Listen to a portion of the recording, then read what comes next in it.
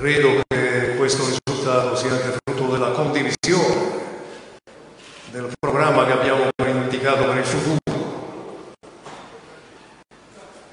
Per il futuro abbiamo indicato un programma che ha al centro un solo obiettivo, uno soltanto, il lavoro.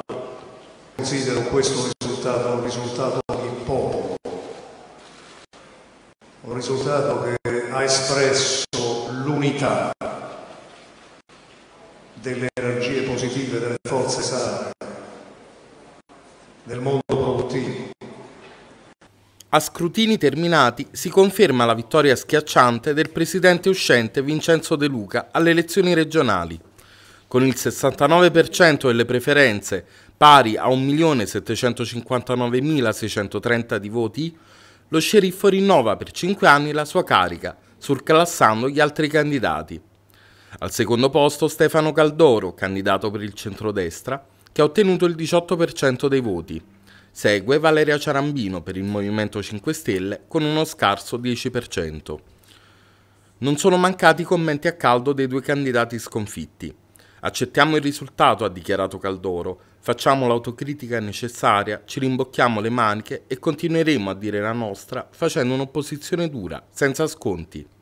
Polemizza invece la Ciarambino, è stata una campagna difficilissima e falsata alle condizioni di partenza.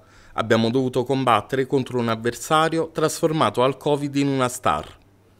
Il prossimo Consiglio regionale vedrà quindi la predominanza dei consiglieri del centro-sinistra, che potrebbero arrivare ad occupare 34 dei 50 seggi.